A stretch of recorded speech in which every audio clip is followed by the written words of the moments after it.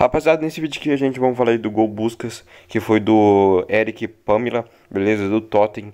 Ele fez um gol muito parecido com o gol do brasileiro aí, do Grêmio, em cima do São Paulo, aquele gol lá do meio de campo, que eu não lembro quem fez o gol agora.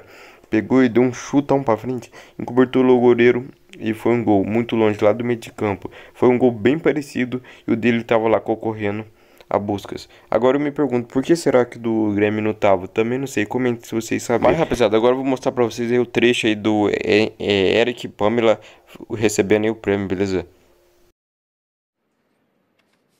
Well, the winner is... Mm,